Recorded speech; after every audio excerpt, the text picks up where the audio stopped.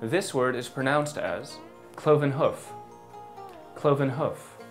A foot of an animal, such as a cow, a sheep, or a goat, that is divided into two parts.